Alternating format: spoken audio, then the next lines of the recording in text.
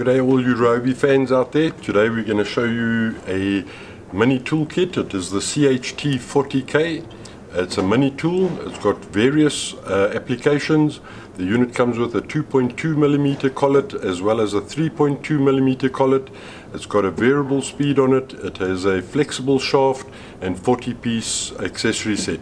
With this unit you can engrave, you can polish, you can sand and you can grind and you can get into little intricate places that you uh, need to do on your projects.